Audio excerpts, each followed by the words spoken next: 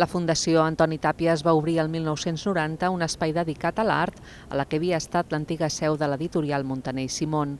La Fundació, tot i ser un centre de referència mundial de l'obra d'Antoni Tàpies, continua molt integrada al seu entorn els veïns del barri són els primers destinataris de la nostra programació en tota una sèrie de propostes que van des de propostes per públic familiar, o sigui, ens interessa molt que les famílies eh, puguin gaudir de les nostres col·leccions al museu. I, i després Intentem eh, adreçar-nos a tot tipus de públic, des de l'escolar, evidentment, tenim relació amb, amb les escoles del barri, des que es va remodelar l'espai en els anys 2008-2010, la Fundació promou la recerca sobre l'edifici com a part de la memòria del barri.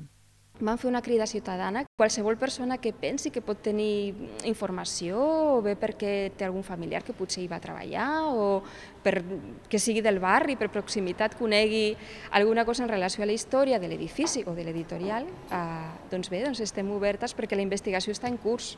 Pel 25 aniversari es fa una exposició amb obres d'Antoni Tàpia cedides per la família, entre les quals algunes d'inèdites, així com d'artistes internacionals que el pintor català tenia a la seva col·lecció privada.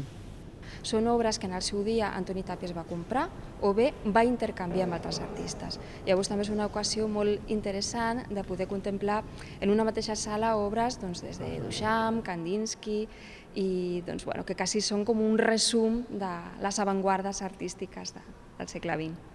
Amb motiu de l'aniversari podran entrar de franc totes les persones que compleixin 25 anys aquest 2015.